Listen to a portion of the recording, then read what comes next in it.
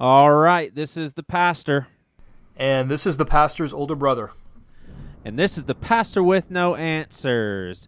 And I ha- I'm gonna have a little blooper clip at the end of this episode where I told our listeners. Well, actually, you'll you'll just hear it. But Jared, when you first got on the microphone, you asked me if I was talking to myself.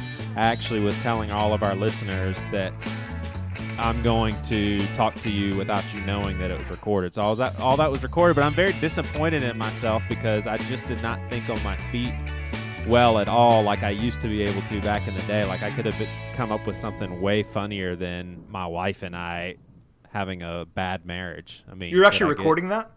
yeah, I recorded it. Did you think I was serious for any? I was like guarding myself because if you weren't being serious, it would suck. So I, I, I don't know. Yeah, I mean, I guess 60% I wasn't buying it, but 40% I was like, damn. But at, So- at one point, at one point, when my answers to your questions were just really, Oh, really then I silly. once Yeah. you said the whole thing about bad Christian, I was or uh, pastor with the answers. I was like, yeah, I know this is he's kidding around, Yeah. but like when you He's said always being a vacation, vacation and Yeah. sleeping on the couch, I didn't know where you're going with that. So yep. Yeah, gotcha. So, um, got to tell you something about Waylon here. We were going into. Basically, we gave them each, all of our kids, fifty dollars for allowance to spend in DC and NYC. And, and thinking back on it, I'm I'm thinking Waylon didn't need fifty dollars. We could have just said, "Hey, we have money. You can buy some things." But he actually he actually when we would go into a store he knew okay i can buy some stuff and so he would collect both of his hands with really junky stuff. Some of it was was decent but i would stoop down eye level and i'd be like waylon you you're buying some stuff and your money is going to run out. So if you buy a bunch of this junk you're eventually going to go to a store where you see something that you like and you're not going to be able to because you've already spent all your money. Do you still want to buy all this stuff? And, and so I realized all he heard was blah blah blah blah blah blah blah blah blah until it got to do you still want to buy the stuff? Yes. like because So he was making it mi- rain in DC. yeah, totally. I mean, because he had already kind of built up a liking for the stuff in his hands, and it's it's almost like the whole time I'm talking, he's like, "I hope this end we- ends well. I hope I can still get this stuff." And then he hears, "Do you still want it?" He's like, "Yes, I Hells wanna- yeah. I don't want to put this stuff up." I have a question for you. Like, Yeah. I. I went so at the Smithsonian. I realized that I have. Well, I didn't realize this for the first time. I, I'm definitely a big time history guy, but I end up just being completely taken and enthralled by a historical artifact as silly as I'll tell you I'm face to face with the shoes that that Judy Garland wore in The Wizard of Oz, the same exact shoes that she clicked together and said no place like home, no place like home. And I just couldn't believe I was looking at that. Like I, it hmm. was just I hate saying this word because it makes me sound silly. It was like breathtaking. Wow. Okay. And that so that's at that's at both um, um like an intellectual as well as an emotional level. You were feeling So- it like at a deep so- emotional level. I think that I realized how epic that movie was. The millions of people that have seen it, the fact that she's passed away, the fact that you can go on YouTube right now and actually see those shoes that she wore as a young girl in The Wizard of Oz, where she was around other actors of that time, the Tin Man and all that stuff. And I'm like, I'm looking at these shoes that are such an epic part of history. So let me let me ask you this, because obviously I can tell by the look on your face that everybody else can't see that that you think I'm uh, uh, an idiot right now, and that's Pretty fine. much, yeah, yeah. But uh, so imagine if you could walk into the actual set of Seinfeld, where Jerry Seinfeld's apartment, like you could actually walk in that kitchen area and open that fridge and sit on that couch. That wouldn't blow your mind. see, you that- wouldn't be like, it- "This is unbelievable." It totally would, but I think that's different because I have a lot of, um, you know, memories of watching that in college with my college buddies. It was one of my all-time favorite shows. Um, so to me, it would be as a fanboy experiencing all that. I don't think you were a fanboy of The Wizard of Oz. So that's Right. where I think it kind of breaks down a little bit. But yeah, I would be blown away if I was touring, you know, Jerry Seinfeld's apartment, or if I was in the Little House on the Prairie, you know, Oleson Mercantile. That would blow me away. But seeing Archie Bunker's chair, cool, but doesn't blow me away. Right, right. Yeah, I. Yeah, I, so I am a weirdo because even though I don't really love All in the Family, it's not one of my favorite shows. Seeing that chair that he sat in in in an epic American sitcom like that, oh my gosh, that is just so neat. All right, so well, let me let me go another route. What about? And this is something that I actually saw at Smithsonian too. I looked at the hat that Abraham Lincoln wore to Ford's Theater the night that he was shot. So here you have the 16th president. Him and George Washington pretty much represent U.S. presidency and commercials and, and all that sort of thing. And I'm staring at the hat that he wore, not knowing that within an hour or so he's going to get shot and killed. And there's his hat right there. Like, wh- how would you how would you feel looking at that hat? Would you just look at it for five seconds and be like, No. "Oh, No, I, I, I'd honestly, I'd probably look at it for a minute or two. I would definitely process the magnitude of what I'm looking at. I would be wowed on a purely intellectual, you know, level, but I would not be emotionally floored by the experience. so for me, I'd rather go to see. I'd rather go to the Museum of Modern Art and then look at a painting by Rothko, you know, um, and then be blown away at, an emotional level with that. That that would do it to me. Probably wouldn't do it to you. That's probably Jared, the I- Jared, I managed to steal that hat." well, that's pretty I- cool. you should sell it on eBay. Early retirement, baby. Oh man, yeah, they had they had like the actual dresses that the all the first. I don't know. I think it was probably wasn't all of them, but it was most of them that the first ladies wore in inauguration, and even They were all skanks. even someone as as moderately recent as Nancy Reagan still looking at that dress that she wore in inauguration I was like still that was 1980 mm-hmm. and but Ronald Reagan was a president of the United States probably my favorite one more for sentimental reasons and I think he did a pretty good job but I was like that is so cool. So yeah I don't know. Something about artifacts and and Joey Svensson hey did I- you know that go ahead I mean, I, I really don't think that you are like the exception, though. I, I would be, would be willing to bet that at least half the people who see that experience it the same way you do. yeah So oh thanks For what it's man that's like big brother looking out for little brother always, man, always. All right. Well, we have Chris Russo, a friend of mine, coming up. He is a pastor at Seacoast Church, as I am.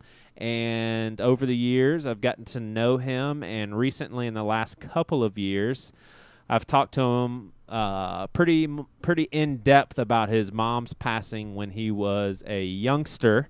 And we're going to talk to him about that in great detail here with Jared as well. And it's it's a pretty moving story. And what's kind of remarkable about it as well is just it, it seems like there's a lot more processing to be done here. You know, 22 or 23 years or so later, and uh, yeah, it's it's uh, it's kind of awesome for him to come on and, and talk so openly about it. So, Chris Russo.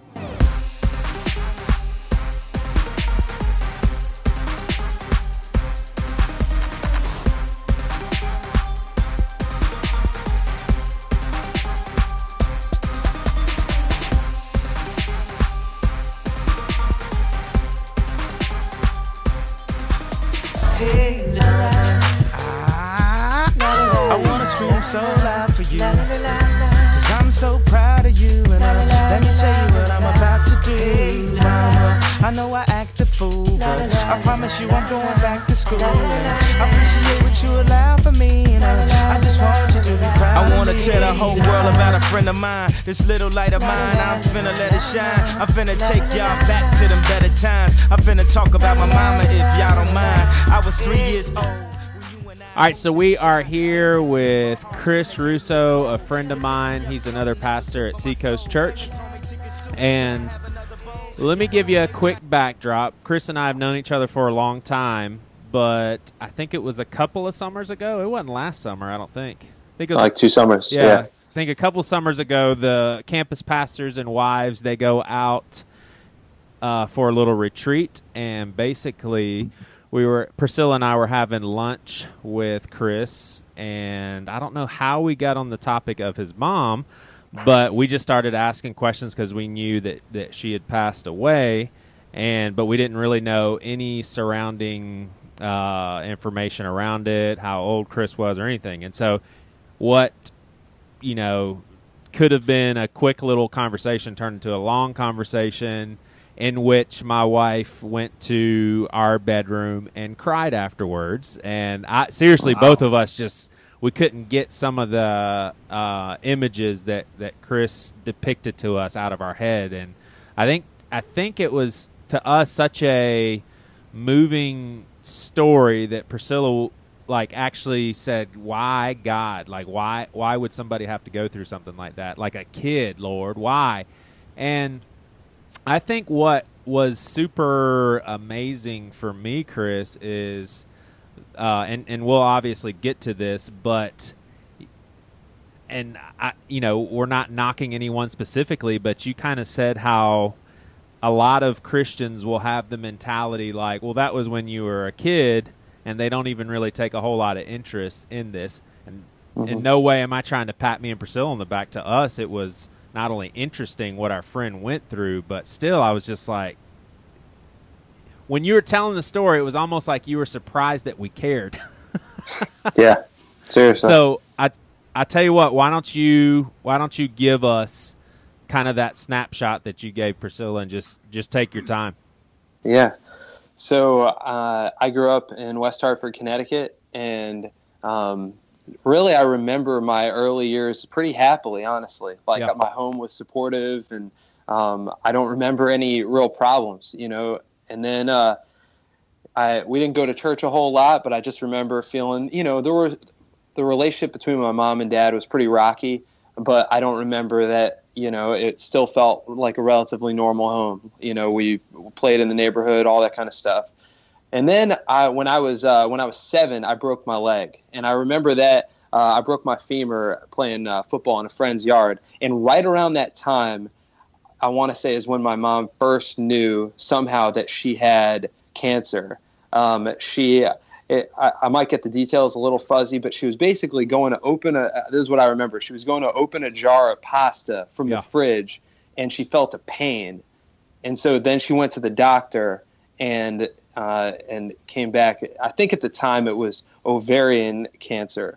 So they went in and they did some kind of surgery when I was seven, and it seemed like they got it all. The doctors thought they had it all, and then uh, and at, at this time, how how aware were you of the seriousness and like how much did you understand cancer and how how old were you? If you already said, I missed it. At seven. Okay. Seven. At this point, I didn't know really anything. When it really hit was somehow the, and it, and it may have been uh, the the pasta jar thing may have come after this when I was eight, but basically it came back. Yeah. So when I tu- when I about when I turned eight is when it came back, and it was like the news of the household was mom has cancer. Right. And I remember for me when it hit home, I remember distinctly. I was sitting on the kitchen floor playing with my army men. I, I actually remember that of all random details. I remember the the kind of army men I was playing with, and I remember mom came in the door. Was it and the she little had a, stupid plastic ones that yes, don't move at yes, exactly. And there, I had a big, awesome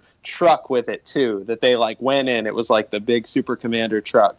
And uh, I remember mom came in and she was wearing her new wig, and she was just trying it on. She hadn't lost her hair yet from chemo, but she was wearing the new wig. And I remember I went and I I remember what I did. It looked so weird on her. I Right. remember I, looked big and not real. I remember I buried my head in the couch cushions and cried right when I saw it. Right. And and that was kind of the beginning of what would become a really long year because Yeah. she uh, she passed away when when I was nine, about to turn ten. So it was basically one year, um, and that that but that was kind of the beginning of it. So, anyways, we what what immediately started is. that- And I Let I, me ask you this know, real, real yeah. quick. When you cried, was it because you recognized the seriousness of it? Like if your mom had to go out and buy a wig, and you had probably heard that people that were fighting cancer lost their hair. I mean, what? Why? I, I, the weird, the wig looked weird, and I think somehow subconsciously, and again, I wasn't a processor at the time, so it was just the weirdness of the situation. Yeah. It was just like, uh, it, I don't even know. It, I just remember, I don't remember the emotion of that moment. I just remember it was like oh, this. It, it kind of hit home at that point. So, So, then, Chris, at this, Yeah. at this point, do you have did you have any brothers or sisters yeah, around? yeah. Okay. My my older brother is 12 years older than me, so he wasn't really Okay. in the picture. My younger brother is really the one who's two years younger than me. Is really Okay. the one that was affected. gotcha. So then so Jared, throughout, that, that would be like you being in the third grade and me being in the first grade, probably. uh, 'cause you thanks were- for the clarification. Yeah, I you're appreciate welcome. that. I'm just, hey, I'm just trying to give you a reference point there, man. Okay. so I guess, and and I guess I might have had the the times the times wrong. So I I guess it was when I turned nine that that realization that the wig incident happened because I was about ten. It took one year for her for the illness to to take her. So then that year of of, of her being sick in our house was was awful. I mean, Yeah. it was you know, I mean the smell. I could smell the cancer in the house, if that makes sense. I mean, it was like you know she did chemo treatments. I don't think chemo was where they could do pills at that point. She started losing her hair, and it was just this thing. But she always had this spirit about her, like she was going to beat it. Right. Like I remember, like I remember, she actually had my dad not even tell her how, how serious the news was. Like anytime the doctors gave her information, she w- didn't want him to tell her. So she, I remember one time she had been really sick, you know, throwing up, and she had this red Ford Probe, and I remember it was like even though she had been through this hell of chemo treatments, she went out to drive her Ford Probe, and that was like a big thing. Like mom's not letting this take her. yeah. And, and so I just remember, for the most part, feeling like, yeah, it's going to be okay, you know. And, and it really took. I there was towards the end, and I don't, I don't know, I don't know if I should, you know, keep going here, but towards the end was when it really started. Like I remember the day that she passed really well. Yeah. You know, I, I remember because up until that point, I mean, I was kind of like that. My family and really all of my, I had a big Italian family, and all of them were trying to protect my brother and I from what was really happening. And Did so your mom and dad have a good relationship? No, actually, they separated before uh, the realization that she had gallbladder cancer. And when it came back, that's what it was. It was gallbladder cancer. And they separated before that. But once that revelation hit, my dad, they reconciled, and my um, my dad had moved out of the house, and so he moved back into the house and started becoming her caretaker. And uh, but they were in the process of, of, of a divorce before that. So your your mom is is obviously going through the the worst thing in her life. How did she? I mean, because nobody would fault her from dropping the ball as a mom going through that. I mean, it's like she's fighting for her life. She can't also be the best mom in the world. So how how did she balance that? I mean, did she try to you know, figure out, hey, what do I communicate to my boys? What do I not? When do I talk to them? When do I let them see me at my worst? I mean, just just how did how did she handle that, and how did you interpret her actions? there was um you know there she did the best i mean in the beginning she still like she was a very active parent like i remember i had a much closer relationship with my mom at the time than i did my dad and she was a really active parent you know the, all the pta meetings i remember once she got sick she stopped coming to the baseball games that was that that was a big thing but we always seemed to find moments in the house. Like it was little stuff. Like I remember, and most of my memories of her, unfortunately, like I have to really work to try to remember her pre sickness. But I remember like sit laying in her bed watching the Winter Olympics. Yeah. Like laying next to her watching ice skating on the Olympics. And I, I have very few vivid memories of my childhood, but that's one of them. I remember sitting on the, it's so stupid, but I remember sitting on the couch at one point and her telling me that I had good lips. Like she was like, it, like you've got, you've like, she was like complimenting me. And I didn't live in like a complimentary household, but she was like, I remember her saying like, you got those good lips. Yeah. And it's such a dumb detail to remember, but it was all she, I feel like we still found moments in the house, but man, once the chemo was really working, like I the TV, honestly, I mean, watching TV, I had a separate room where I watched TV. Really, kind of, because I remember her. She had that IV attached to her, and I remember like her puking her guts out in the bathroom and walking by the TV room. Yeah. Sorry, man. And and just giving me a thumbs up, like it was going to be okay. So it was. uh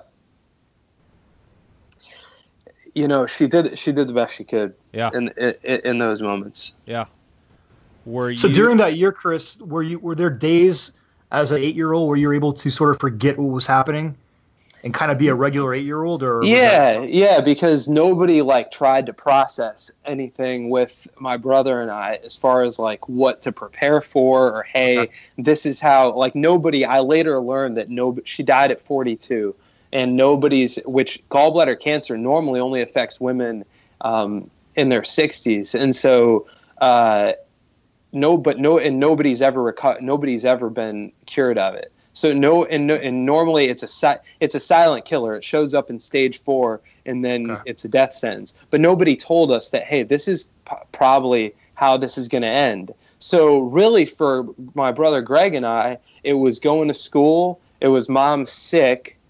It was the it was watching that watching her deteriorate but never hey like there was no because especially of my mom's attitude of oh yeah i'm going to beat this which she wouldn't even say that to greg and i but that was always the spirit of the house. Almost in retrospect it may i don't know if it was denial i mean i know everyone was trying to protect us but there was never honestly until the day she died it, the day that she died i remember a moment that i had by myself I don't I wasn't a processor, but I remember sitting in the driveway and I remember I had just had a sleepover with my friend John Donahoe and I remember he said my worst nightmare would be my mom dying. And I remember distinctly cuz she I came home that day at about after school and I remember I had gotten a good grade on a paper and I was going going to go into a room and show her and uh, I remember she had she was breathing shallow. And I remember I called my I told my grandma and grandpa who would come over every day after school and watch us and I said to him, "Mom's breathing. Mom's not breathing right." She said, "Oh, she's just sleeping, honey." But I knew something was wrong, and so I called my dad. I called my dad, and uh, I told him that mom wasn't breathing right. So he came home, and um, I remember while he was on his way home, I went into the driveway, and uh, and just I remember thinking to myself, I think John's worst nightmare is about to happen to me. Mm. And uh, and I, uh, my dad got home and he walked into the her bedroom and he. Sorry, guys. Right, man. he came down the hallway and said, "Chris, mom's dead."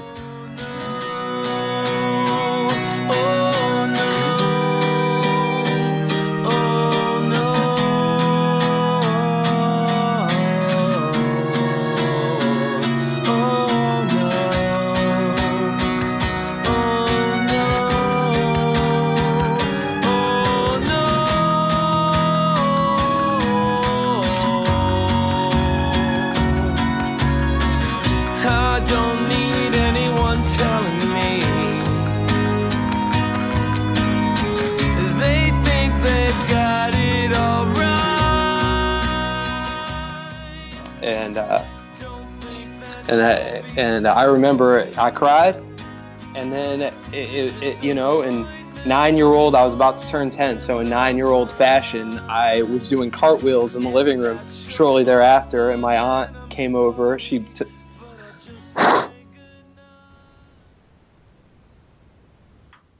she uh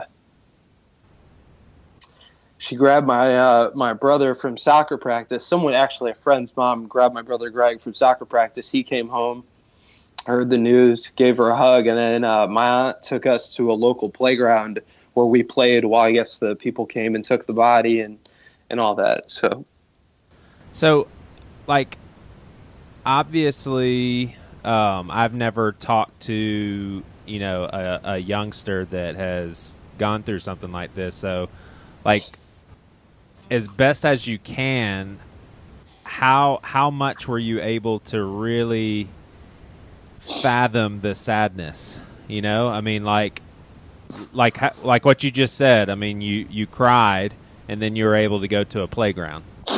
Right. I mean, so how how like how it's Yeah. it's obviously sunk into adult Chris Russo what you've experienced, you know, but what's the difference in nine year old Chris Russo and how it sunk in then? You know, it was such a, you know, I was running around with my friend John at her wake playing tag. Right. You know, it was, I, you know, it was, I, I think that it was just so the best way I can think about it, and and obviously I still have some a long way to go on healing on this, which I honestly for years haven't even realized. But uh, as silly as that may sound, I um, at the time I think it was just the best I can think looking back is it was so devastating that I, I just didn't process it. Like Yeah. I, I didn't, it, you know, I didn't even have.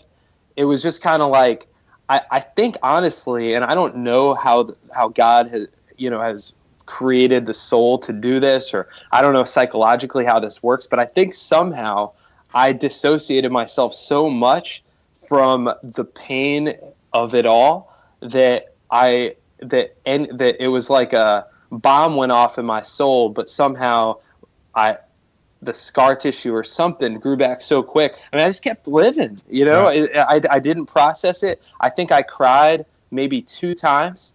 As couldn't that- kid. Couldn't that be a maturity thing though too? I mean, you were so young. Maybe you haven't developed that that depth of maturity to really Yeah. handle and process his emotions at that age.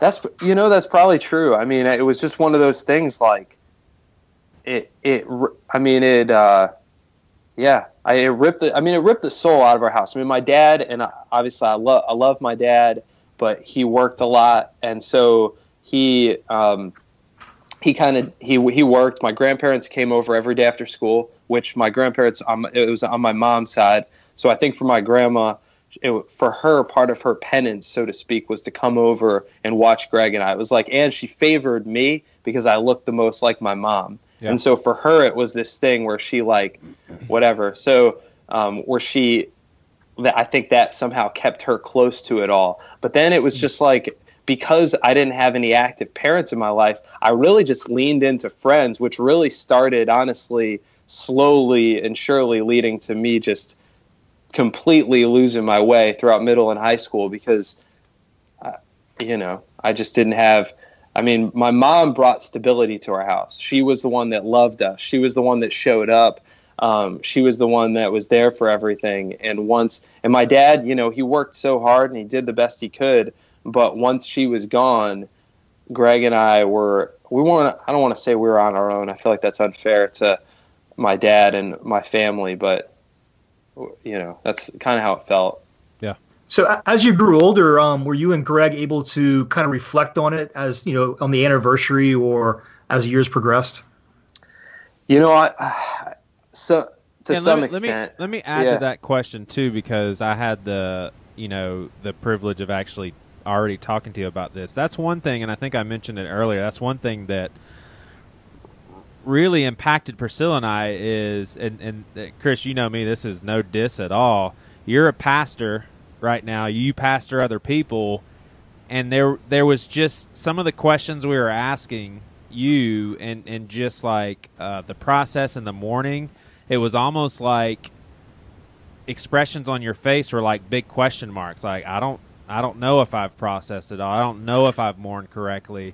It just seems like it's it's one of those things to where um, you know your your mom asks uh, or or someone asks us to do something and we don't do it that morning and then we forget that night then we forget that morning next thing we know a Yeah. whole week's gone by and then our parents are pissed because they're just like i told you a week ago but it seems like is it possible that you've been doing that year after year after year after year i mean I honestly, I've always, in you know, I feel silly saying this, but I, I've always prided myself on being introspective. I've always thought that I think deeply about things, but honestly, like just recently, you know, with, uh, I mean, talking to you guys, start not even wanting to read the journal that she wrote specifically to me. I think what it, what it is is basically when I've talked to other Christians about my mom's death, what it's been, here's been the conversation. The idea has been, you know what, that was tragic. God loved her. God loves you. He's using it for good. It is what it is. And I think that honestly, I've been really blind to w- how it actually affected me and why that should even matter.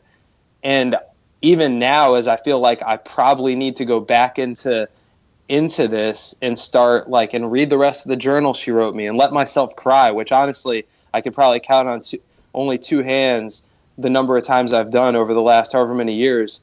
Um, I, part of me feels like, what's the point? Right. You know, like part, I, I, you know, I'm, I know that I need healing, but I'm almost like, you know, God, you're the one that took her to begin with. Like, what kind of healing are you going to bring me in this? Like, what's the point? Yeah, you know, I don't know. I, I feel like maybe for even from the messages of others, the way it's typically been dealt with is, yeah, that was awful. Wow, you've come out so well. Good for you. And I'm like, okay, I guess I, I guess being a man means just pressing on, you know, and developing this. The you know, the world's a dark place. Bad things happen. You know, I, honestly, the the idea of healing or processing hasn't even been on my radar. Well, how how old were you when you actually, for the first time, had healthy church community? What, like twenties, early twenties, or something like that? I was I was 18 when I first gave my life to Christ, and I, you know, and I got connected at Seacoast probably when I was tw- about 20. So basically, from the time you were 10 to 18, I mean, you didn't have anyone thinking through, hey, is Chris is Chris mourning this properly? Uh, you know, do we need to let him talk out his feelings? Does he need to go to a counselor? Like, you didn't have anybody looking after you in that way. No, no, no, not at all. So when you uh, and I got that stinking lump in my throat, so I'm trying to fight back tears. So you better knock it off, Chris. Sorry, man. Isn't that a self-centered thing? I was just like, hey, will you please stop? It's all right. Man. Um, so looking back, I mean, would, would you? I, I, maybe I'm stating the obvious, but would you say you were kind of emotionally alone through those, let's say, ten years, ten to twenty? And I'm tr- I'm trying to be really like sensitive to my family in this because I know everybody did the best they could with what they had. But yeah, I Yeah. mean, I, I what I uh, without, and I know that it's probably not even. I don't want to rabbit trail, but basically through through middle and high school, what I did, I mean, I had so much support in my mom, and then once she was gone, all that support was was gone with her. And so what happened was this underdeveloped kid all of a sudden I basically just started feeling like, hey, in middle school and high school, look at trying to find that acceptance from other people. Right. So I mean, I you know, so I I mean I wa- I walked on I put stuffing in my shoes when I was in middle and high school. Or I probably started in high school to try to look taller because I was really short, so that I could eh, because so I could be accepted. I mean, I walked on my tippy toes. I was made, you know. I mean, it was. I, I mean, I, all through middle and high school, all I, I was just trying. I lost so much touch with myself that honestly, by the time I moved down to Charleston to go to school, and what really led me to even be open to the Lord or anything like that is I realized that I had no idea. Somehow, from the time that she died, I completely lost any sense of who I was, what I was about. I mean, it was like the way I've always thought about it before. It was almost like my mom provided the gravitational pull around the planet of the Russo family, and as soon as she died, the gra- that gravitational pull was gone. So now all the asteroids and meteorites could slam into the surface and just crater it. You know, because it was a normal middle school and high school, but without her, it everything hit and so I, when I when I by the time I had I started taking you know you because in middle and high school you don't really think about or at least I didn't really think about who I was but by the time I was 18 and I got to Charleston and all of a sudden I was outside of the influences of my family and friends I'm, I started realizing like I'm alone and I have no idea who I am I don't have a belief about anything I don't have a perspective I don't know what life's about Yeah. I just don't. I'm completely lost, and I, I just remember that being kind of. And I didn't realize that in middle and high school. I guess I was alone, but I was try. I was fighting so hard to be accepted by people that I never really just stopped. and s- confronted the reality of the aloneness. It was more like I was alone, but I was trying so hard. If I just, you know, host massive parties at my house and lie and do all this stuff, maybe I can get accepted. And then by the time I got to college, and I was like, finally, like, man, I need to take stock of my inventory here and who I am and what I have to work with. I'm like, gosh, I am a shell, and I don't know how I got here. Right. So, so Chris, this may be an impossible question to answer, but looking back when you were a child going through all of this, can you think of what you needed? Like in an ideal, ideal situation, what what did you need as a kid? What kind of support did you need? I mean, y- you know, it's so funny. I, I feel like even though you guys, you know, wanted to do this call, and Joe, even though you and Priscilla were the ones asking questions, like it really, I think I've, I somehow, and I don't think it was any one person, but I've just kind of interpreted the message, and maybe I, I don't know if I've, I've probably attributed it to God too. On top of it, that nobody cares, I should get over it, and so I think honestly, I just needed somebody that would that actually cared, that would have Wow. thought to say like, "Hey, are you okay? Like, what, what, what's you know what." How, how do you feel like this is this is a major thing and i think that so many people maybe were partially because i was faking it and partially because i don't know maybe they were trying to deny it themselves or something Yeah. nobody nobody cared Yeah. and nobody asked and so i basically tr-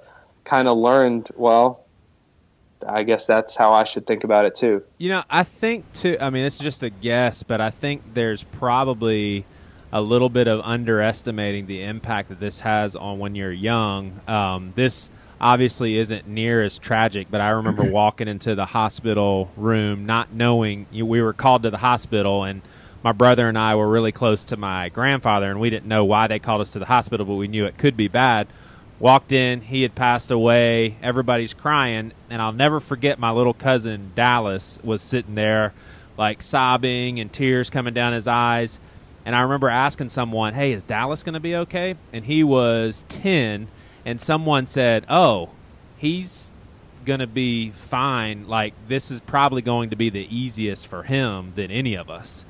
And I, I, you know, that just hit me in this conversation is I wonder if people were just like, "Oh, Chris is so young, like he's just going to really rebound and it'll be all right." And then that just, you know, 2 years of thinking that and next thing you know, Chris is 12 years old and then you're like, "See, I, he's okay. He got it through all that." I don't you think there's any Yeah. validity to that?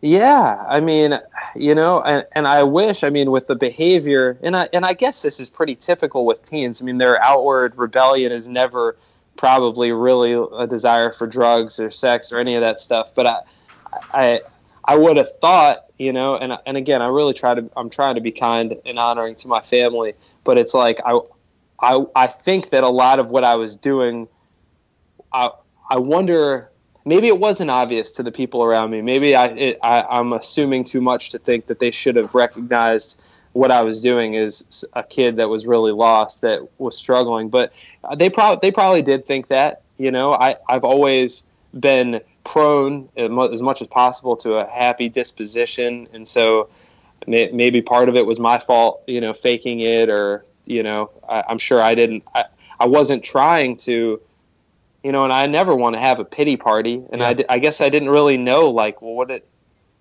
I didn't know if there was an outlet or should there be an outlet. And, Yeah. you know, do you talk to someone or none, none of that was addressed. It wasn't like, hey, if you're struggling, call so and so. Like, there was nothing like that. There was no, no God that I believed in. No, there was just nothing. It was, it was just, a, she died and that was it. And gosh, that really sucked. But you're still alive, so figure it out. So what about your brother though? It's, I mean, is did you guys? This is kind of an earlier question, but did you have some kind of bond with him to where you know you two were pretty much in the same situation? Did you have any kind of emotional shelter from him, or did you guys provide each other with support at all emotionally? No, because you know Greg has was always I don't know if it's like the older brother thing or what he he kind of he was popular through middle school and high school. So while he didn't have the support, uh, you know the while he felt my mom's loss in our family, he didn't uh, he connect he fit in so well in school and with so many people that I think that he really it still massively affected him, but yeah. we dealt with it. I, for me, middle school and high school and growing up was a living hell. For him, he would he loved it. So wow. um, I, he, we weren't on the same page there. Okay. What would you say as an adult when you think about like you, you know my struggles with depression and you know a lot of my mental illness I've, I've been writing a book on it and reflecting on a lot of my experiences and things that i walked through in high school and middle school and you know after high school i actually had like a and maybe, maybe some people would see this as narcissistic i don't know but i actually had almost like a sadness for 18 year old joey like when I was writing this stuff down and the thoughts that I was toiling with and all that stuff, I was just like, I'm really sad for that guy. Like that sucks that he had to go through that. Does does that resonate with you when you think about 9, 10, 11 year old Chris? Like as an adult, do you think about that kid and you're just like, man, that that's tough. Hmm. You know, I think honestly, because I haven't, I don't have enough distance from it yet. I think honestly, I'm still, um, I'm not. It's. I think right now the place I'm at in the process, and I, I feel like I can't believe I haven't even engaged, really engaged with this process yet. But I think I have. To, I haven't connected with him, with that kid. I think I've yeah. spent a lot of time trying to distance myself from from that and from the pain, and I'm realizing it, I'm, I've been sh- fighting my shadow, and I'm realizing it, it, it has affected who I am as an adult. So, I mean, I like I said, I mean, my mom wrote an entire journal from the time I was like born to when I was like three and a half, and I haven't even read it. Until I just today. started. I started reading it. I think I had read a page or two before, but I really started getting into it, like reading it through it today in preparation for our call. I thought that coming into work today that I could read the entire thing and be ready for the call, and I got three or four pages in and couldn't keep myself together. So she, like my mom in there, is t- calling me baby and my precious boy, and I'm like, I, I can't even describe. I'm like, who is who is this woman? And I I don't even I, I can't I don't even know. Right, and she's I, and she in her mind she's talking to her nine or ten year old, and you're reading it as an adult. I mean, I just I can't imagine the emotions that you know because she, if she was here, she would love this Chris Russo that I'm talking to, but that's not who she's thinking of. That I just that's crazy, man. And I, do you think that that was from the the fact that you've avoided reading that journal thoroughly for so long was that you wanting to save something special or avoid something difficult? You know, I, and again, I'm like I I don't even think I was doing this consciously, but I think I was avoiding something difficult because yeah. it's been sitting on my bedside for months now, and I'm like, normally I'm the kind of person that I'm gonna I'm gonna pick something up and read it, and I'm normally not the kind of person to avoid confrontation, even with myself. But I have not wanted to ever pick that thing up.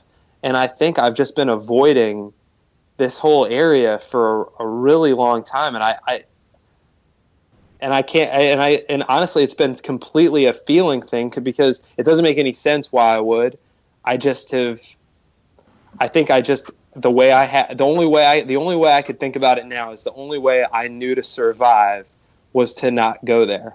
Because and even now as I'm reading it I'm kind of like I don't I really hope I mean I know enough scripture and enough theology to where I I should be telling myself God wants to come to the wound. God wants to heal you. God cares. Go through this. He's taking you into this. He's going to make it all work. I I know all that but I'm like, what? But where I, as far as where I actually live at, I'm like, what good is going to come from this? I'm just going to make myself feel awful about this woman that was awesome that died, that God could have, that God could have healed.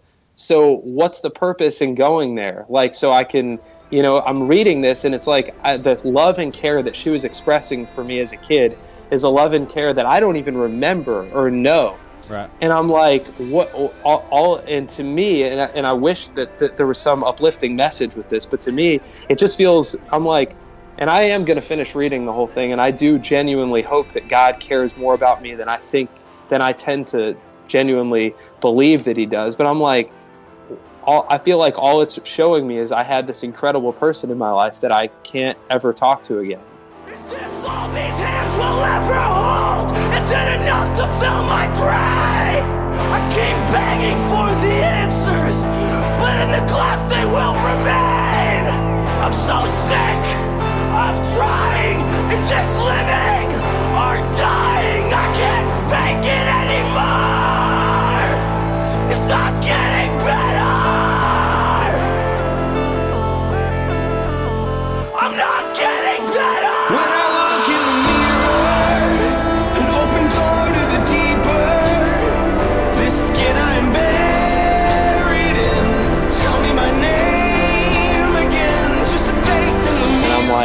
great. That's so. Where does that leave me? You Yeah. know, and, and I know there are better answers than that. And I'm, but you know how you know how it is for us, Joey. I mean, for us as pastors, we're always in positions where we're telling others what they should believe. Right. And so, you know, there it, it's like it's almost like sometimes, and I, unless you're, I guess, really intentional about it, you don't have any room to let yourself feel things that aren't true or that others would correct with better theology. Like, there's no place for that in what we do. Right. Well, people don't want us to have that place either because they need us to, you know, it's, Right. it's almost like I've actually heard situations where a pastor was transparent in front of his congregation and the and people were honest about it and they're just like, yeah, I would have just rather him keep that a secret. I didn't want to know. Right. Ex- ex- exactly. I'm Chris. I'm the Chris Russo. I'm the uplifting spoken word guy. Right. Right. Right. That's what. That, I mean, that's what I got to be. I guess my only thinking there is, I mean, I, I totally get where you're coming from, and I, I probably would think the same way. But for me, it would be like, okay, my mom wrote this for me. She wanted me to hear these words, and so I would feel almost obligated to to go that route. You know what I'm saying? That, but I totally get what you're saying. That's, that's just probably my one, my one comeback for that. No, I know you're that's right. painful to hear. No, you're right, and I'm gonna do it. Yeah. I'm gonna do it. I didn't realize. I, I thought I could read the whole thing before our call today. I'm Oof. gonna. I, am gonna do it. But it was so much. It, it Oh was my so. gosh. It was so hard in each page. I, I guess I just don't. I probably honestly need to get, get actually go back and seek counseling on it because I just don't know what to do with any of Right. it. You know, I mean, already my memories of her are so limited. I'm like, what do you do with that? Right. How old are you now? Thirty-three. 33 dude like you you know you're i mean you're a friend of mine so i hope this doesn't come across as as um callous or anything but this this is amazing to me like it really is because i have a great deal of respect for you and i mean we're talking 23 years. And i mean it that's just mind-boggling to me. Like it really does seem like you were able to avoid something that was necessary for the last 23 years. And that's just wow. And and and, and, and I, my assumption is you're not a huge exception to the rule. Like you're a human being. I guarantee you there's other people that, that I, I bet you there's people that you can triple that and they you know refuse to deal with something from 10 years old and they died at 70 and never did it, it's mind blowing to me that this you saying that may be the first time I've even had that thought. Like it hasn't even crossed my mind that I was avoiding something. Abby's alluded to it, my wife, a couple times, but I honestly, it has not even. This may actually be the first time right now that I'm even realizing that I have been avoiding something. I would not, if you had asked me six months ago if I was avoiding anything with my mom, I probably would have I might have said maybe, but I probably would have said no. yeah yeah Chris, I know that uh, you know the past twenty plus years since my grandfather died, I've had a lot of really vivid dreams about him. Um, so I guess my question to you is kind of two part. Number one, do you have like vivid dreams of her still being alive? And secondly, do you ever fantasize about what would life would be like if she were still alive? You know, this is this is one thing I, I got to mention. One thing that is so interesting to me is that the day I, I, I, Joe, I don't know if I ever told you my story, but I got I gave my life to Christ through a dream that I had on December 12th of 2000, which is my mom's birthday. And wow. I still to this day don't know why I had that dream that night. It had nothing to do with her, the right. dream. I, I was, uh, but at, at, any rate, I that's still I, I feel like God must have done that for yeah. some for some reason.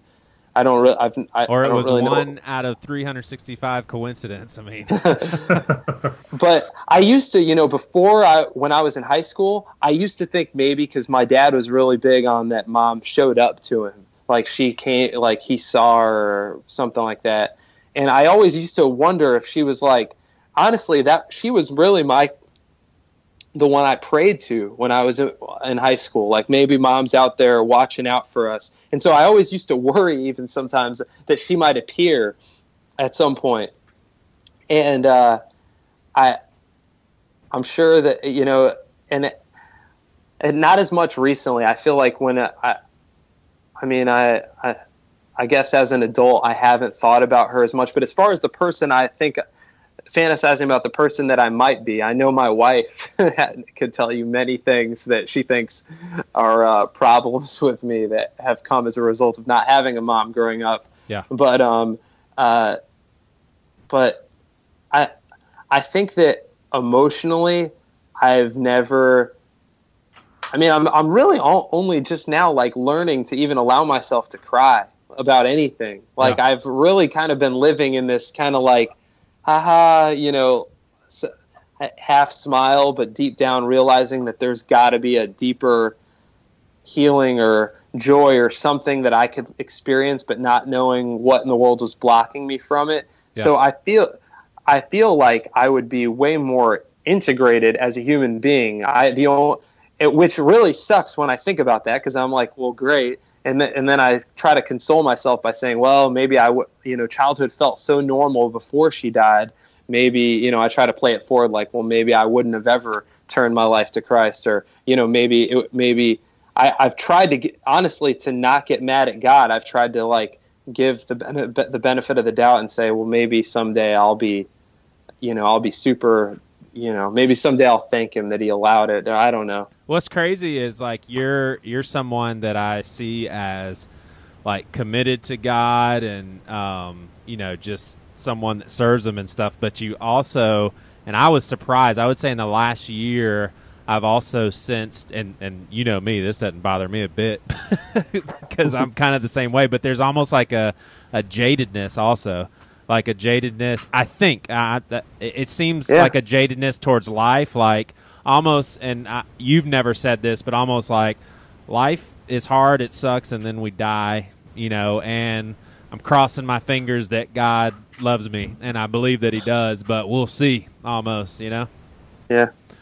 Yeah, I mean, when when push comes to shove, I know that when I'm at my darkest moments, because you know we're at sea. I mean, you know how it is Joey. I mean, at Seacoast, we're around so many people that are constantly telling us God loves us and has right. great things for us and all that kind of stuff. But when I go, when my soul kind of like defaults on its own, there's just that thing of like, I, I think the script that I adopted after my mom's death that nobody, nobody taught me, but it just kind of was like, because if the pillar, I mean, if the pillar of my, the biggest pillar of my life could be ripped away, with that quickly, it was kind of like life is something and everything outside of you, God included, people is something to be guard is something to be protected against. Yeah. So every time you know Chip meets with me, what he says is that the part of my brain that detects danger is hyperactive. And like that's what he said to me before, which I'm you know, and so it's almost like I learned I need a winter coat because it's always winter here. Yeah. And so now, whenever somebody tries to tell me it's summer and I should take the coat off, I feel like they're telling me to walk onto the beach in Normandy with without a weapon. I'm yeah. like, you don't understand. There are bullets flying everywhere. No, you're safe. You're in a good place. People love you. People accept you. You have nothing to worry about. You don't understand. That's not the nature of this world and life. And I, I do hope that maybe going through some of this process that somehow some of this stuff can be you know, unpeeled. But I, I that's going to take way more of an arsenal than what I have. Yeah. So go, Do you think? going back Go ahead, to Jared's uh, question that you never actually got to, no problem. Do you ever fantasize about her being around and wh- what it would be like if she was meeting your kids and that sort of thing? Uh, uh, okay. Um, you know, not her. One th- what will happen is sometimes when a mo- when a woman will be mothering to me, yeah. I it it it, it, it, it still catches a nerve, like wa- almost like uh, water in a in a desert. Like oh man, like it feels really good. I'm Right. like man, and it's almost like I, I I don't normally think about. I I don't know why. I guess I haven't. I never really think about what it would be like for her to be here specifically, only because it just. I think probably if I was thinking that, I would be more into like I, I would be pro. I've avoided obviously avoided processing her loss, and so actually thinking in a fond, even a fond way, like, oh man, I bet she'd love the kids. I mean, maybe every once in a while, but I haven't really allowed myself to go there. Yeah. So it sounds like those times when you feel mothered are those really the only times when you allow yourself to stop and, and, and maybe you don't even go this far, but it sounds like that's when you realize I'm actually missing out on something and I've been Yeah. missing out on something. Are, are those the only times when you think those sorts of thoughts? Yeah, I mean, and, and honestly, because of the fact that I haven't honestly been consciously thinking that there was this massive thing that I needed to pr- to process and go through, I haven't even like walked away from those experiences and thought, man, there's obviously um, a lot I'm missing out on. Because if Yeah. I had that thought, I'd probably I probably would have done something about it. It's more just like a man that would have man that would have been nice. Yeah. You know, I, I that felt really good, but I didn't get that, so that's it. Go, going back to what you were saying about being possibly more jaded um, in the way you approach life, do you think that through this experience you have more empathy than the normal person or the average person, or less empathy? I, I think more in the sense that I just I really do try to listen well to uh, to other people, and I feel like you know, and I think anybody that's struggled probably with mental illness or anybody that recognizes how how how much we can get in our own way as people, it's like you just know that you know, give it. Sometimes when it, when I feel like churches like ours tell people, hey, if you get in a, if you come to church and get in a small group, get connected to some good people, you're probably going to be just fine. I, I I know that's not true, and so I feel like what it's given me, if anything, is just an ability to know that hey, I can. When I sit down with someone, I recognize that even though they may have three kids, I I definitely feel that people like I know that I need Jesus more than I could possibly ever say. Like I'm like even as we're talking about this, I'm like, you know, I'm really messed up and I really need him to be way more to me than I can even ask him to be. I'm like, I don't even know what to ask you for. God, like I'm like I don't even know like when I go and I spend time alone in prayer, I'm like I don't even have prayer requests cuz I'm like I need you to do stuff in me that is beyond my ability to ask you for. So I feel like when I'm sitting down with someone, I just can listen in a way where I'm just like, I realize that you need God more than words could possibly communicate. So when somebody, you know, I, so I can tell when someone's deluding themselves into thinking that, you know, hey, you know, I'm fine because look at all this great stuff I have, or look at, you know, how my life looks on the outside. I'm like, yeah, but there's got, I just believe there's a, a lot and that you know i mean we can And to me, that's a that's a that's a powerfully profound realization. I mean, I think that's amazing as a pastor to have that realization. it, I, i'm glad i have it i sometimes it's hard to see it as a gift knowing you know what What you went through to get there. yeah Exactly. Um, Yeah. but I, I hope that you know that really I, I think a lot of people it seems like they try to most people try to avoid just how complicated and how twisted we can all we can all be and uh, I, I hope that I you know that I, I help people sometimes recognize like man like I remember the first prayer I ever prayed I was I, I think I was 17 at the time I had prayed before that in little uh, you know I hadn't prayed since really sincerely before this. I remember I don't even know how I got the words of Psalm 130 in my head. I, I, had, I had only read the Bible actually to try to convince a girl to sleep with me, and uh, and uh, I remember it, the Psalm 130 starts off with "I cry out to you from the depths, oh God." And I remember I was 17 or 18. I, I was not a Christian, and I remember just feeling profoundly lost and profoundly alone. And I remember I just looked up at the ceiling, and I I don't even think I said anything. It was just like I cry out, I cry out to you from the depths. And there was just a feeling of like being alone on an island and you got one flare in the flare gun and you just shoot it up into the sky and you hope to God that somebody hears it and that somebody sees it. Yeah. And I remember I walked away. I didn't give my life to Christ or anything in that moment, but I just remember I felt like it was heard. And I didn't think about it much right after that. Um, but I remember feeling like someone heard that. Yeah. Did that give you a sense of like peace or confidence to have that kind of that feeling that it was heard? it, it gave me a, a, small twinge of hope that okay. maybe that maybe someone would respond but I was so completely lost and disconnected from what I needed. I didn't know about Jesus. I didn't know right. if there there was any religion that was right. I just felt like maybe someone heard it there's a lot of uh, dude listeners right now. They're like, "Hey, can you back up and share that scripture that you tried to use to convince your girlfriend to sleep with?" I, would like. to none, none of it worked. We actually did not cross that line. hey, um, did you ever struggle with anger towards your mom? I mean, it would be irrational, but do you ever remember being like, "Why'd you leave me? I'm pissed." You know, I, I thought about I thought about that. I. Um, I, I, I don't if I it, it, may be in there. I you know as I've read a little bit of the journal, I'm like there's something in me, but I think it's been more anger towards God. Yeah. Than more than anything, more than her. All right, so I got two more pretty maybe bizarre Joey type questions. Jared's used to these, but you may not be. But I, I I'm assuming that losing a parent would be uh, not assuming i know losing a parent is more ideal for all of us to experience that in our adulthood like when parents should normally pass away you lost your mom as a kid do you think it would have been easier or harder to have lost her later on in life but not into adulthood so 17 18 mm-hmm. so basically you have a way more matured relationship, a deeper relationship. You've gone through a lot more with your mom and then you lose her. Do you think that would have been harder or easier?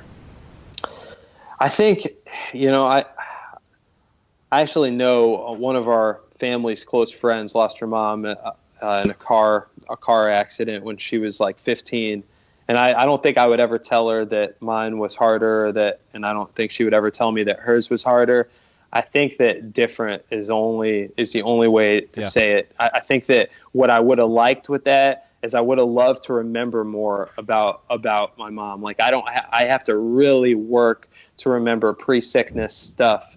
Um, so I feel like what would be in my mind, and I have to obviously imagine this. I, I feel like it would be easier in the sense that if I had been older, I would have had more experiences and I could have remembered. I might have been able to ask her questions. Like I didn't ask her any questions like, "Hey, what do you want me to know if you if, if you don't make it through this like i feel like i might have been able to gr- latch on a little bit more to her um, but that being said i i also you know it probably would have been that much harder to lose her i know that i obviously still have a lot of wounds and baggage from this but i don't it's harder for me to miss her in the sense that i don't remember her that that yeah. well which yeah. is which quite honestly is sad in of itself. So I, I, I don't know. Yeah, it's hard. Kind of a mystical question. Do like how would you answer this? Do you currently feel loved by your mom? You know, this is so funny. We had there we have some elders at our campus, uh, and one of the one of them came up to me after a service. This was so weird, and she said, "I feel like God wants me to tell you that your mom loves you very much. Wow.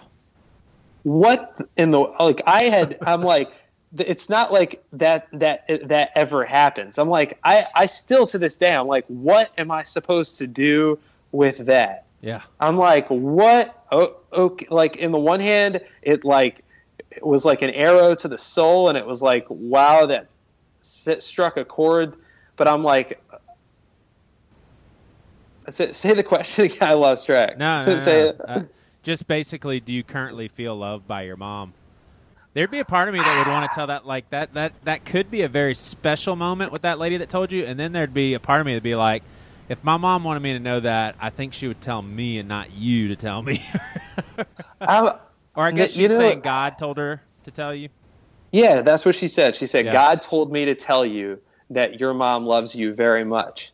And I'm like, so no, I, I, I, I don't like, and this is the hard thing. Like, I don't know how, like, I, I still struggle with knowing how the whole heaven and hell thing works. Like, I don't know, I don't know where my mom's at right, Right. now. Like, I don't know where, I don't know if she had faith. I don't know what, you know, what, whether she had a relationship with God. Like, and, and that's quite honestly, I'm like, am I going to go up if I died right now, or if I, when I die, am I going to see her? Or am I going to spend? Et- I don't. I have no idea. And so for me, like, that adds a whole Yeah. other layer to it that's not even worth going into. But I'm just like, I, I hope.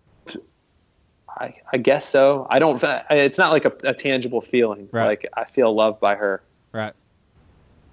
I think I think when you take the time to actually, you know, read and digest the words of her journal, I think I think you will feel loved. I did too. I did hope too. so. Yeah. I, I feel the love in her words. I, I know that she loved me very much. Uh, I don't. Like guess- imagine, uh, imagine because this is closer to home because this is, you know, current and your family. But imagine if Abby knew that she was going to pass away. Imagine how emotionally charged her words would be to y'all's kids. You know what I'm saying? I mean, just kind of like imagine what she would write down. That's that's the position that your mom was in. You know, I mean, that's just. Well, her words and I, her words in the journal were pre-sickness. Oh, gotcha, gotcha.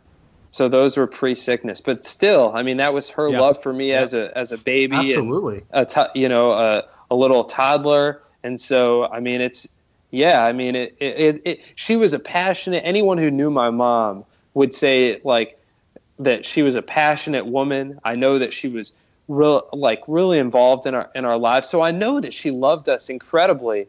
I just, I, you know, I I don't know. uh, I guess you know on the other side of this. I, I wonder. I really do wonder what healed will look like. I have no idea. I hope that there is some peace on the other side of this. I don't know. I don't know. Yeah. What do you say to, let's say you're talking to someone who has a lot of skepticism about God, and and they're just like, man, I mean, how could how could any kind of God let kids suffer? I mean, they're the innocent hmm. ones, and you actually could say, well. Yeah, I'm one of those kids that went through hell, that, and God allowed me. Would you leave it there, or would you try to give them a pastor answer? I'd probably not. I would try not to give them a pastor answer. I, I, I would try to give them what I have to do myself. Yeah. And what I do, what, what I do with myself is I don't. I try not to trust my own perspective too much. Like I, I don't know. I don't know how this whole death. I mean, clearly we're all gonna die. Like to me, like death sucks no matter. Like it really sucked then, but I'm like, it's gonna. su- I, I don't want to die. I don't Right. want anyone to die you know so i'm kind of like well god why'd you allow a world create a world where death even exists Right. and i have to believe that somewhere behind all those deep mysterious questions i have to believe that there's a god that is way better than i most of the time give him credit for So the only thing i would say is i'm like you know and i and for those who who have suffered probably any kind of tragedy regardless of what it is whether it's death or abuse or anything that they wish or i i feel like the only there I, I what i personally have to do otherwise i would be i would hate god and i wouldn't have any hope is i have to tell myself that there's a lot i don't see and so don't draw don't don't be so quick to draw conclusions Yeah. don't be so quick to say well my life's going to be awful and my mom I, I don't you know, and I don't think my mom's in heaven, and I and this isn't going to work out good, and all this did was mess my life up, and I, I don't know. Yeah. I, I don't know, and I feel like for me, at least re- I can at least have a little bit of peace in telling myself I just don't know. Let's see how the story ends. Yeah. That it, And- that it, it helps. That's why faith is so important. We don't know. You know what I'm saying? Just because we don't know doesn't mean that there's no God or God's a bad, you know, entity or whatever. We have faith that God will be, you know, be be true to His word and He will rescue us in the end. So, I You know, agree with you. exactly. I Yeah. fellas, I had a thought while we were all talking. Like, what if God is listening to this conversation? And he's just like, "Dag gummit, Joey, this happened how many years ago, and I have helped Chris deal with this. He's forgotten about it, and you're ripping all these wounds right away. What the heck are you doing?" I don't think so, but oh man. Chris, thanks for your vulnerability and just Yes, opening thank you. up, man. That's it's definitely uh, wasn't any easier to hear this time around either. But uh, I, I am I'm I'm just amazed. I think uh, I think it's it'll honestly be very privileging. I don't even know if that's a word, but for people to to hear you and almost give people a sense of gosh this this is a pastor that may have just discovered that he hasn't dealt with something in the last 20 some years and honestly I, I think that's it's almost like a responsibility we have as as pastors people see us as these leaders well we need to just open ourselves up and just be who we are and not try to hide our our weaknesses and struggles and all that stuff. So I think it's it'll probably be encouraging for people for sure. I, I definitely hope so. And I and as I told you, Joey, I mean honestly, like I really because yeah, I mean I could walk away and say, hey, Joey and Priscilla are really caring people because that they, unlike most, actually wanted to know. But to me, I've taken it a step further, and I really believe that somehow. And I have a sense of this. I, I'm not going to say I'm 100% confident, but I have a sense that maybe God, you know, touching you guys to ask those questions and even and even have this call is a part of a process that maybe he's just starting. And uh, I, I I do hope because I I know that it, it brought about a lot of hurt in my life. I do hope that in two years, three years, and five years that through this process that maybe God used you guys to initiate that I that maybe I'll maybe I could be a different a, a different person. Yeah. Wow. Well, I, we're going to put this in the show notes, but Chris does a what do you call it? Uh, one minute messages on face on Facebook. Yeah, yeah, daily one minute message. Daily one minute messages, and you're a spoken word guy. Can they get that stuff on iTunes? Uh, yes, they can. Yeah, but yeah. That, that the album was the fight. So yeah.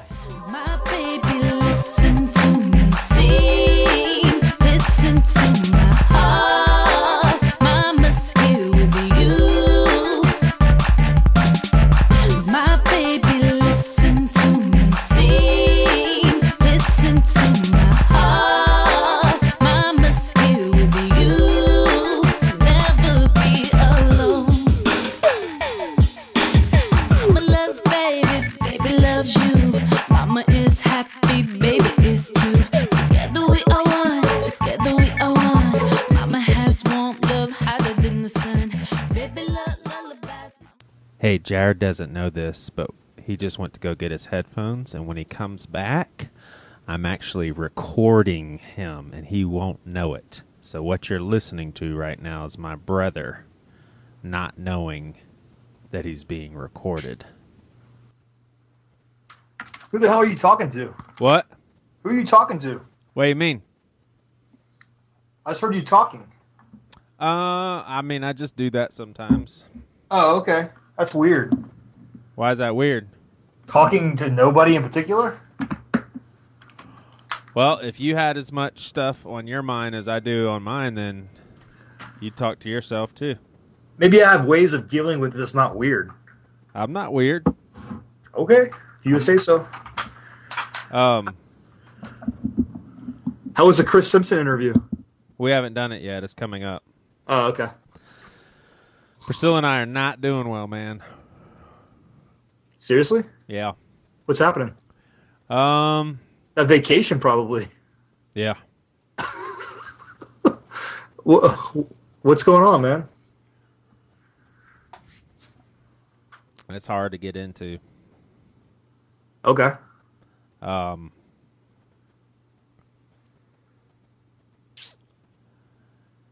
we def well, we haven't talked in like uh probably since we've gotten back to the vacation, so that's a little awkward. I've been sleeping on the couch. Are you serious? Yeah. Was there an argument that, that happened like during the uh, vacation?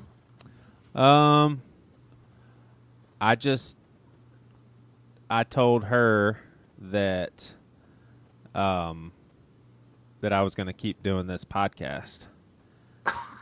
And she basically said, "So your brother comes before me?"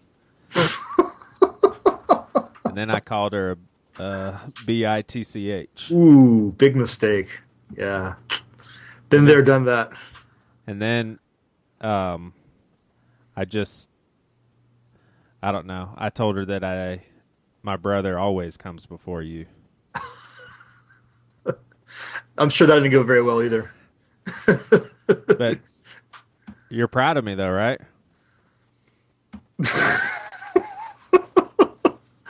Uh, sure. Sure thing. What? Yeah, it's real good. I'm proud of you for calling your wife a bitch and then saying that I come before. Nice, nice job. you did it.